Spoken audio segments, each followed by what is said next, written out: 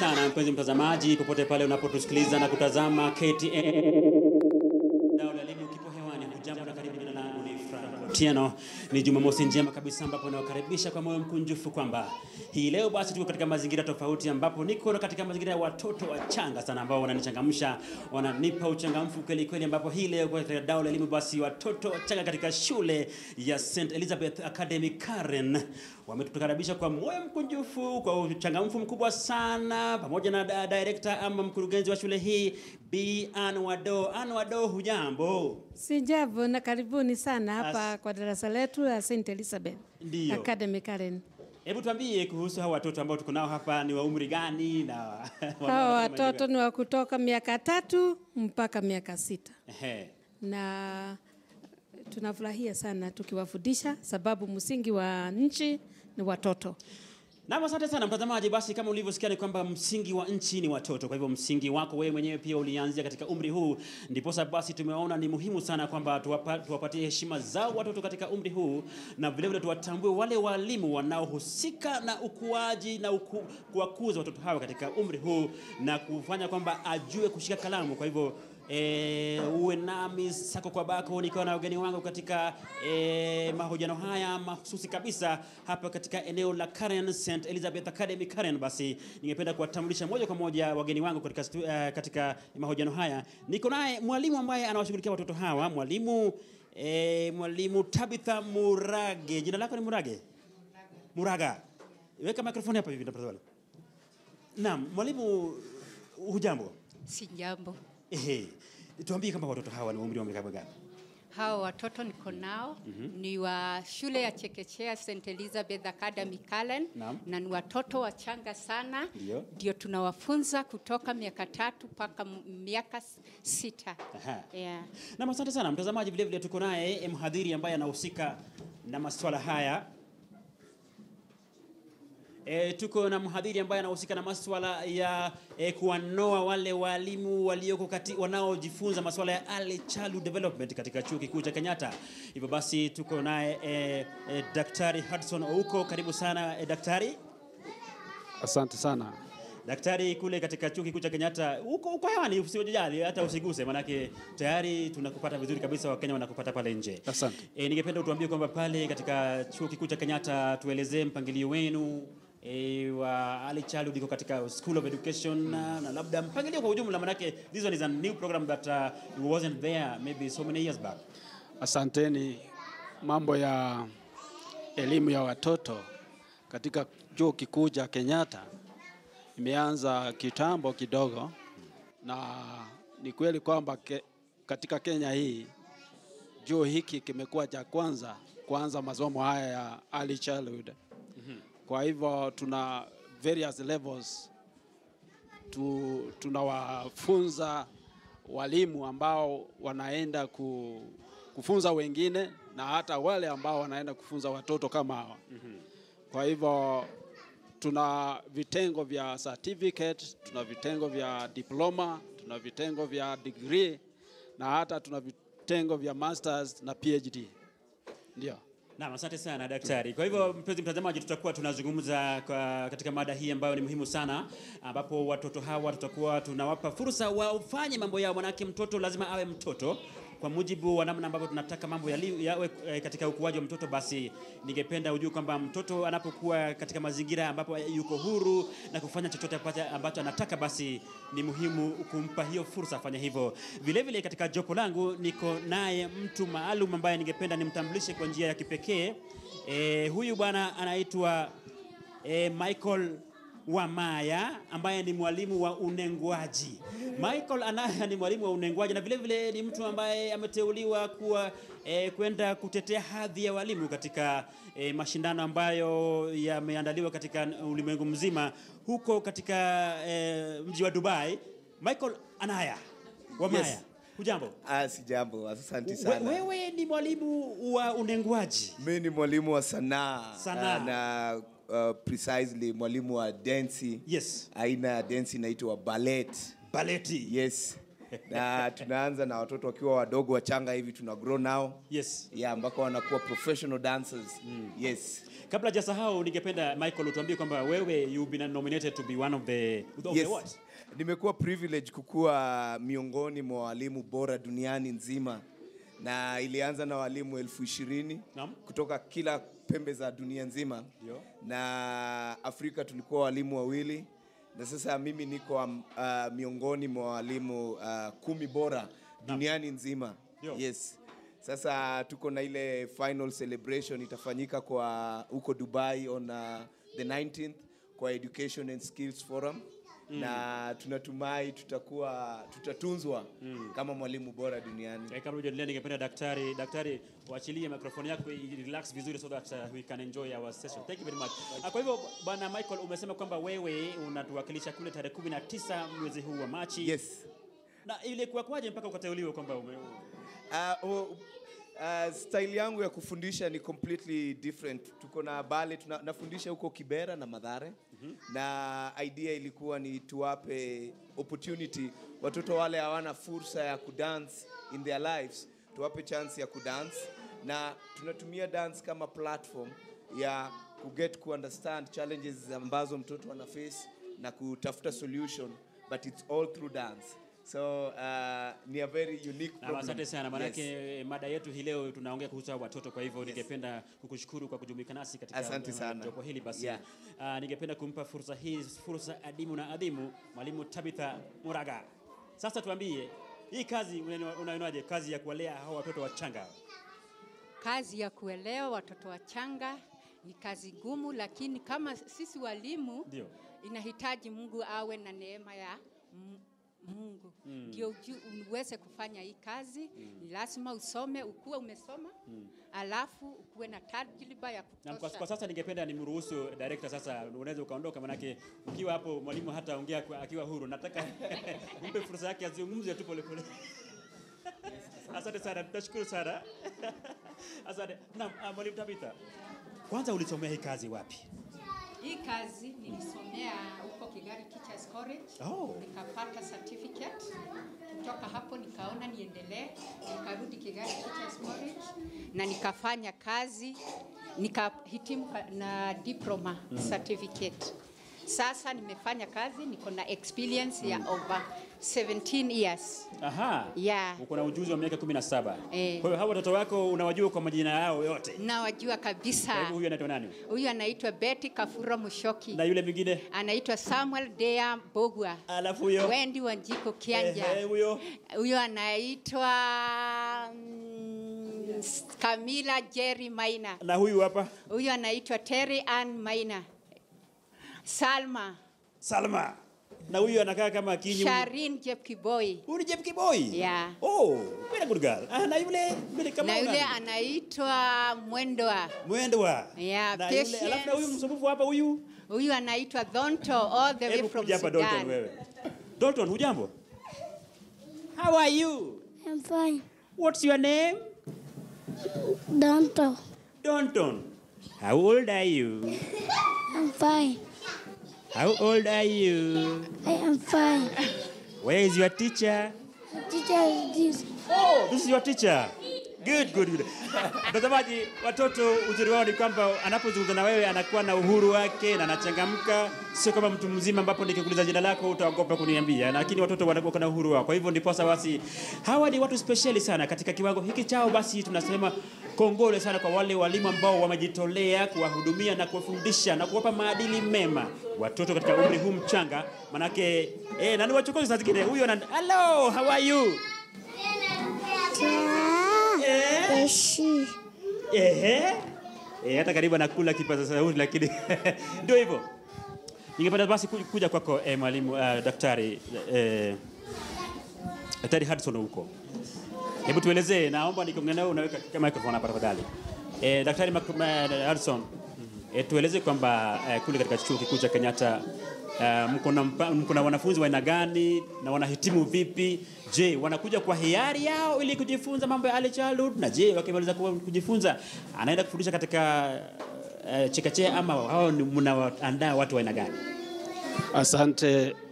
Tunaandaa walimu wa viwango vingi.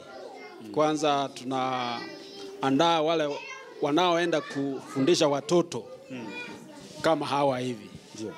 Na hawa walimu huandaliwa katika viwango vya certificate, uh, diploma na hata shahada. Uh, hao wanapotoka huko, tunatumai kwamba wanapopata hiyo nafasi wanakuja mahali kama hapa, wanarudi kiwango hiki cha chini, kwa sababu wana ule ujuzi wa kuweza kuwaelewa watoto na kuwakuza wa, wasaidie katika elimu yao na pia tunao wale wengine ambao uh, tuna train tunaita TOTs wanaenda kutrain Yes. kwa sababu hawa wengine wamefanya adha saada ya pili. Hawa uh, ni watu ambao ambao wana ujuzi wa kutosha kulingana na watoto vile vile watoto wanasoma, wanaweza hata methodology wa, wa, wa, wako prepared in many ways ya kuweza ku, kuwatayarisha walimu. Tumesikia tayari kwamba So in short you are uh, training lecturers of ECD. we are training trainers in Trainers. early childhood. Yes, of early Yes. childhood. Yes. Ah, katika mtazamo wako wewe mwenyewe umeona kwamba e, mbona hii kazi inawafaa sana wanawake kuliko wanaume? Manake ime, imekuwa kwamba wanawake ndio wanapenda kazi hii. Uh, mwanzoni ilionekana hivyo, lakini wakati huu ukija katika uh, lectures zetu unaweza kutamaki kwa sababu mm. wengi ni wanaume. Labda ili swali ni- nimrushie Michael Wamaya. Yes. Wewe mwenyewe ukiwa mwanaume unaweza uka, uka, ukawamudu hao watoto hao? Yeah, uh, kitu muhimu inakuanga wanaume, unajua kwanza wanaangalia ah, sasa mtoto kama huyu itabidi nimemchange saa zingine Yes. itabidi mtoto kama huyu saa zingine nimeenda nimemuosha. Uh, so unapata wanaume wana shy off, lakini kuna wale wanajitokeza kama mimi mwanzoni nikifundisha watoto walikuwa wadogo kiwango hii. We start with 5 year old. Unamchange nguo ya bale, unamvalisha viatu, saa zingine amesahau, inabidi unatafuta. So ni moyo, inaanza na moyo na kupenda kazi Lakini yako. unakiri kwamba wanaume labda hawana wanaume ule moyo- hawana ule moyo wa kujitoa nje kwenda ati tufanye, wanaangalia mimi kama mwanaume nitaenda for the hard subjects. Mimi nataka nifanye science, mi nataka nifanye mathematics. Wa, wa, wanaume wana moyo wa kuwavumilia watoto kweli? ya sana sana hii kazi ni, yana, ni walimu wengi ni wanawake Aha. lakini sasa tunaona pia wa, vijana wanajitokeza kusomea hii kazi Sema Na wavulana sio vijana. Unajua vijana ni youth kwa ujumla. walimu wa kike Eh. walimu wa kike wanajitokeza Ba, bado hujanijibu. Ni- Ningependa uniambie kwamba ni kwa nini wanawake ndio wanapatikana sana katika kazi hii. Kwa hivyo ina maana kwamba wana mazoea ya malezi ya watoto katika umri mdogo, ndiposa basi hawana shida katika kazi hii. ya yeah, inalingana sasa unaona society yetu sana inaona kama akina mama ndio wenye hii kazi. Sasa hiyo ni uh, stereotype thing hiyo inajitokeza kiwazi hii ni kazi ya wanawake. Ndio unaona wengine hawataki sababu ya hiyo. Hebu tusikilize mhadhiri chuo kikuu cha Kenyatta anasemaje kuhusu eh, hii dhana kwamba wanawake wana uwezo wa kumudu watoto hawa katika umri huu, wana uvumilivu, wanaume wa hawana subira. Ni kweli, ni kweli tunaweza kusema hivyo kwa sababu akina mama ndio hupata hawa watoto. Ndio. Wanapowapata kwanza wana natural skill Yes. ya kuhandle watoto. I love that. Natural skills, ndio? Yes. Kwa hivyo it comes naturally. Yes. wana natural skill ya kuhandle hawa hawa watoto. Manake, ningependa kamera hivyo. Ma- Madam unaitwa nani kwanza? Naitwa mwalimu, naitwa mwalimu Naomi. Mwalimu Naomi. Naona yani you are feeling so free here. I, I, I can imagine if it was a man walking around here I would be feeling oh my god. Sasa wewe mwalimu Naomi tuambie kwamba hawa watoto wewe mwenyewe unapokuwa na wao una unawachukulia vipi na uvumilivu wako uvumilivu wako kwao ukoje? Uh, kwanza ningesema hii kazi ni kazi kutoka moyoni mwako. Kazi itoke moyoni mwako, uwe mvumilivu na usiwe mtu wa kuwa na hasira ya haraka, kwa maana watoto ni lazima wafanye mambo mengi mengi, wametoka katika misingi tofauti. Kwa hivyo uvumilivu na roho kuu, uwe na roho kuu na especially patience because kama umeletewa mtoto wa miaka tatu hata hanja mwingine ajui kwenda. Kwa hivyo ni lazima uwe na roho na moyo kujitolea, hasa sio hata ile masomo, ni ule moyo ndani mwako. Mtazamaji, nimefurahishwa sana na alivyosema huyu mwalimu. Mwalimu nani? Mwalimu Naomi. Na- Mwalimu Naomi anasema kwamba lazima uwe mvumilivu, ujitolee.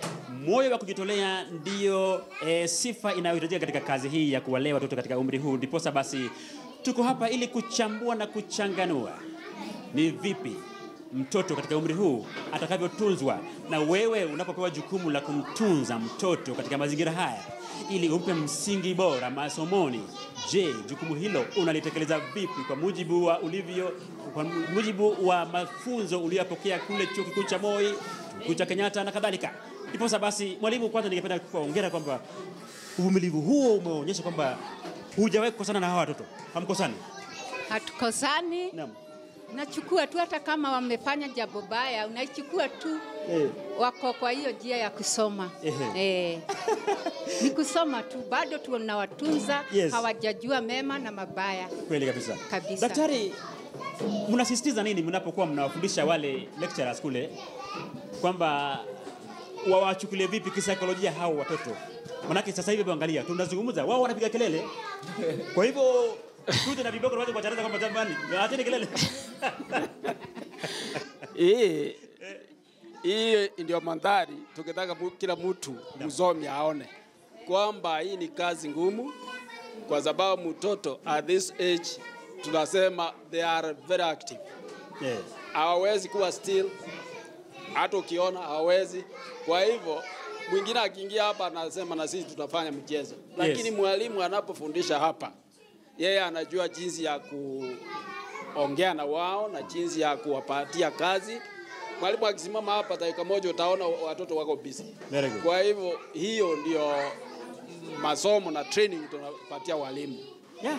Yes. Actually umenikumbusha jambo fulani kwamba tulipokuwa chuo kikuu nikisomea masuala ya walimu pia Uh, katika klasi ya psychology tukaambiwa kwamba watoto anapo mtoto anapozaliwa ubongo wake unaitwa tabula rasa, sivyo? Tabula rasa. Tabula rasa inamaanisha ni msamiati wa saikolojia unaomaanisha kwamba an empty slate, kitu chombo ambacho hakina chochote ndani yake. Kwa hivyo anapokuwa sasa, anapozaliwa anazaliwa na ubongo, kichwa ambacho hakina chochote ndani, lakini sasa wewe, mazingira ambayo utampa ndiyo yatampa uwezo wa kuanza kurejesta jambo moja baada ya jingine. Tell us more about tabula rasa, mwalimu. Ndiyo, kwa sababu mtoto anapozaliwa the brain is ready to receive Yes. but there is little to give. Yes. That's why some psychologists wanaona kwamba hiyo ni tabula rasa which is a blank slate. Blank kabisa. But we, wa we, we want to say that uh, the brain is only wired, is ready for more wiring. Yes. it wants input. Na hii input inatoka kwa environment. And one of the very first people kwa environment ni, ni mzazi, a caregiver Yes. na mwalimu anakuja ndani. Kwa hivyo hawa vile mtoto anakuwa vizuri au vibaya, it will be attributed to the environment where the teacher is also there. Ndio tunasema kwamba sisi kama environment ya mtoto lazima tuwe very useful, kwa sababu tunaweza kuwa environment ambayo that is not sensitive kwa needs of the child. Mwalimu Tabita, tabula rasa, huyu mtoto ni an empty slate, lakini kwa sasa hivi ukiwaangalia walivyokuja hapa hivi mwaka ule walipoingia tofauti na namna ambavyo sasa wa- wa- walivyo sasa, na maana they have digested a lot in their brain, sio? And the brain is very active. Yes. Tuambie kwamba mabadiliko gani ambayo unayaona kwao ambapo sasa hivi unafurahi kwamba wewe mwalimu umechangia katika mabadiliko haya. Sana sana ukiangalia ha, hapo tumekaa, this is our learning setup. if you look at the learning setup, Yes. they are able to sit. Oh. They are able to sit. Right now we have this is the fifth minute. Wanaweza tulia kidogo, Eh? tunaweza kuwa control kidogo, wana wanaweza fanya kitu Na anapolia tunamruhusu alie kidogo. Eh, kulia. Eh, you have to set them free. Yes. You have to set them free yeah. as far as running is concerned. mm. You don't come hitting the nail on the head. Yes. You, it goes gradually. Starting from somewhere, we go to somewhere. From unknown to known. Yeah. Labda kwa Kiswahili labda ukisisitiza kwamba uh, tuwape mazingira gani? Unajua you are now deviating to English. Okay. yes. Nataka kusema wakati tunapokea watoto Ndiyo. kutoka nyumbani, hawa watoto hawajui kutulia, hata hawajui mwalimu, hawajui darasa, hawajui vitabu, hawajui kalamu. Wanapoingia, tunaanza hapo, mwanzo ni hapo. Mtoto anaingia, anajua huyu ndiye mwalimu. Tunapokea mtoto kutoka kwa mzazi. Tunapoanza hapo, mtoto anapo, an, mwalimu anampokea, ndio tunaanza kuwafunza polepole polepole polepole, wanaanza kujua polepole polepole. Hapo mwalimu anaingia tabia, nidhamu, kuketi, kujua environment. Pia tunaendelea na kusoma subject zetu. Na samahani, manake wewe ndio you are the main focus of my program, kwa hivyo nitakuwa nakuuliza maswali mengi tu. eh, nitakuja kwako baadaye ndugu. Ah, mnakumbuka mimi nikifundishwa katika enzi zetu zile miaka mingi iliyopita. Mwalimu anaanza na very hard things. 1 plus 1 kiboko. Donald Trump. Sasa unachanganyika mpaka ukichamwona mwalimu basi unamwogopa mno. You become so withdrawn. Kwa hivyo ungeniambia kwamba sasa hivi mbinu ambazo mnatumia ili kuwafundisha watoto ili wajue vipengee ambavyo kwa mfano I cannot just come and start saying 1 plus 1 is equals to 2. Atajua nini? What is that? Tuambie kama mnatumia mbinu za aina gani ili to make learning enjoyable. Yeah, sana sana hapa walimu kuchapa hatuchapi.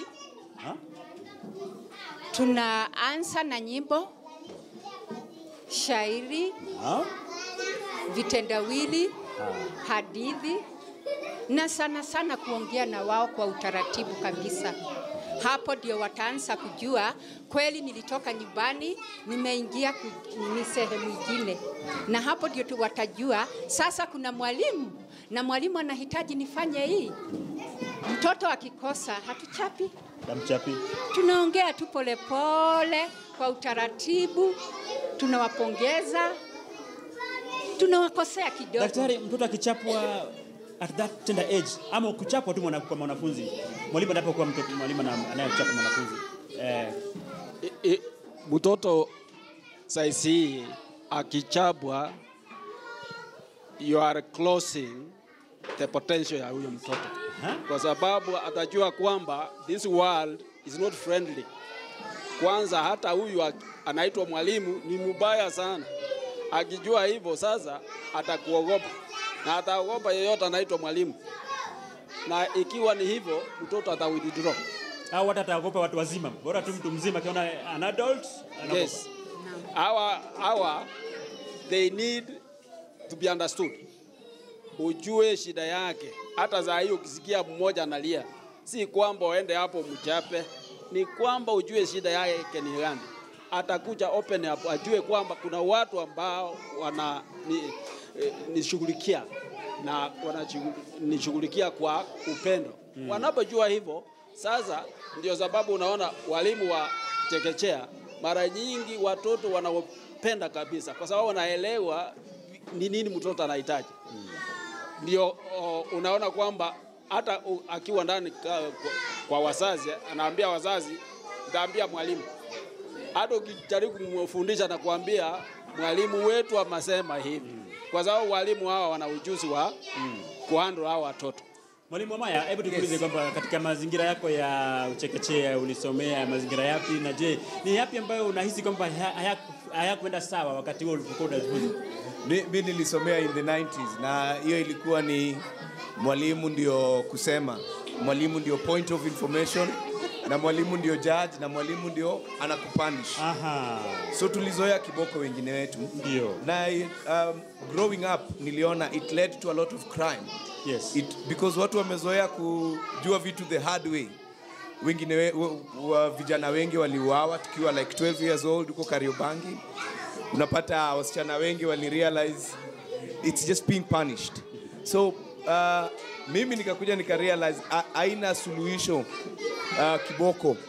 Haina suluhisho punishment atienda uoshe choo. But suluhisho ni kuelewa mtoto umefanya hivyo kwa sababu gani. Kwa nini utaki kudance saa hizi kwa nini utaki kuwak na wenzako and then gradually unapata mtoto ana open up anakuambia mpaka mashida yale yako nyumbani. Kwa sababu si shida ya hapo classroom peke yake ni shida inatoka nyumbani akija asubuhi. So ako open kukuambia na wewe kama mwalimu une, una, unapata unajipata ina position ya kurudi nyumbani tena kuongea na mzazi wa ule mtoto?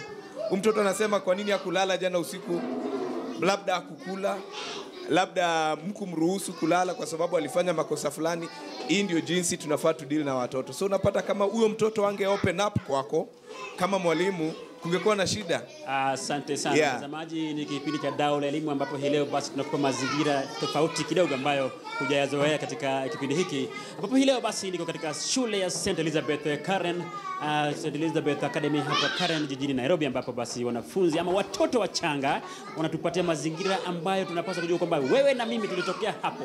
Ndiposa basi katika jopo langu nazungumza naye mwalimu ambaye anawafunza moja kwa moja, vile vile tuko naye eh, mhadhiri ambaye anashughulikia maswala ya elimu ya watoto ama katika chekechea, na vilevile vile tuko naye mwalimu wa Maya ambaye ni msanii wa masuala ya unenguaji na vilevile vile amekuwa akishughulika na masuala ya watoto kwa ujumla. Kwa hivyo basi usiende mbali, manake baada ya kupumzika kidogo, basi tutarudi hapa kwenye awamu nyingine ambapo tutakwambia mengi zaidi. Usiende mbali.